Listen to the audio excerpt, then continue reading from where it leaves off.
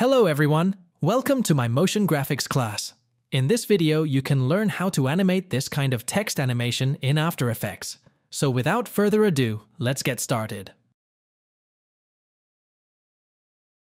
Alright, so let's create a composition first.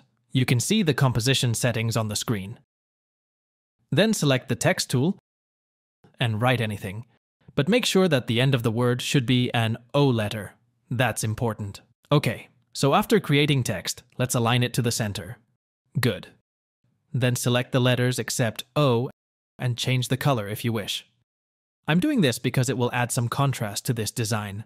Now it's time to change the text layer into a shape layer.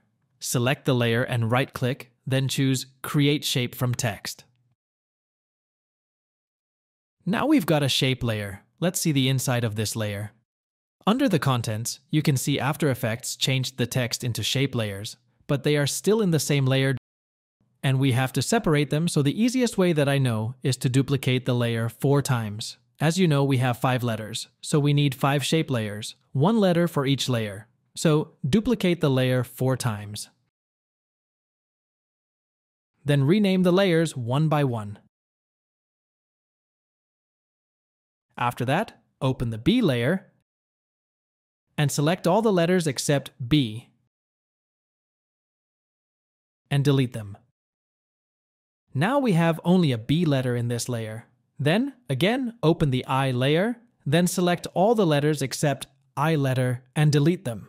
Now we have only an I letter in this layer. You have to repeat this process for the rest of the letters until you get one letter for each layer.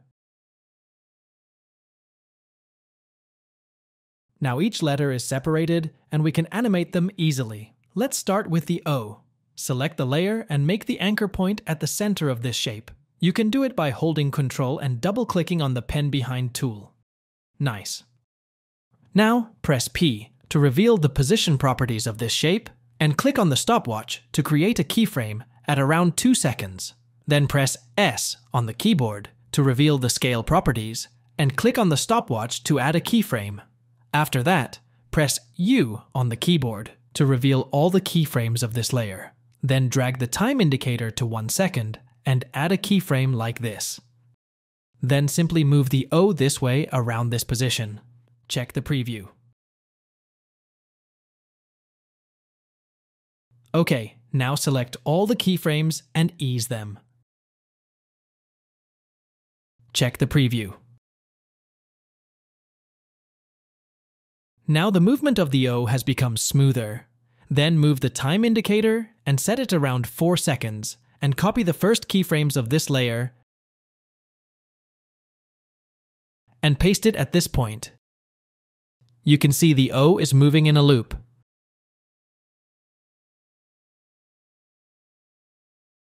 Then select these keyframes and open the graph editor. This is a speed graph. Then select all the keyframes. You can see these handles. Simply select it and drag it like this. You just have to create it like a mountain. After changing the graph, O movements look much better than before.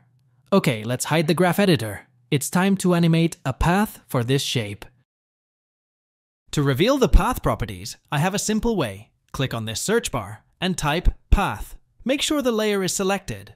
Then simply click on the stopwatch to add a keyframe.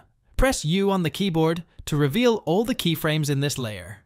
After that, move the time indicator and find the position where the first letter touches the center line of the O. Okay, let me zoom in so you can see it better. Press G to select a pen tool and carefully click on one of these points. Then hold Alt and drag the mouse to select those points. It's a very simple but effective technique to select multiple path points. Let's move forward. Click and hold one of the points, and move upwards until you see the top edge of the B letter. It's important to create enough space between the O inner line and the B outer line so that B can easily pass into the O letter. Okay, if you understand this thing, just do it again on the other side. Click on a point, then hold Alt on the keyboard, and drag the mouse to select those keyframes together. After that, select one of them and move downwards like this. That should be good. Okay, let's get back to our main view. Move the time indicator forward around here, and then copy these keyframes and paste them here. You can see there is no distance between the O inner shape and the G outer shape. But it's okay, we'll cover that in the next steps. Alright, continue the video. Copy the first keyframes and paste them here. Let's see the preview.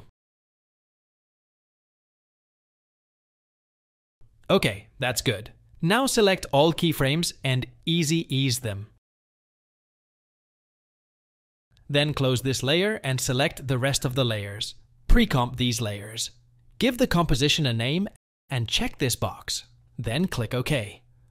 After that, click this button. It's a collapse transformation switch. Open the O layer and drag the time indicator to the last keyframe.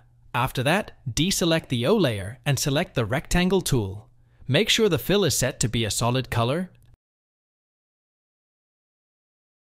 and the stroke is set as none.